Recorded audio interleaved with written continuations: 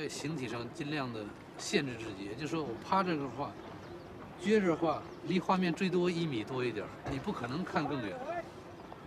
然后呢，你呢又很认真的去描绘眼前的对象，对对它进行抄写，可是你的形体呢又不允许你抄写的非常完美。这个时候呢，我觉得我的身体跟着一起带动起来，就是有我的体力在里面。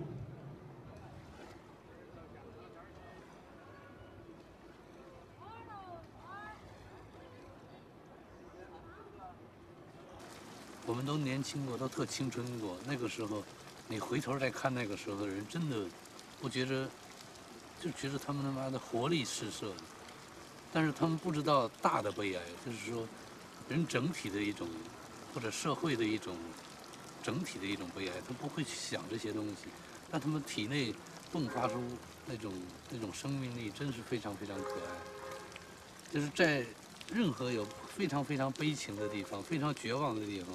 你都会发现，生命本身真的是非常动人，它就像一棵树一样，它长得非常非常的自由，非常非常的茂盛。这是因为它青春，它在生长。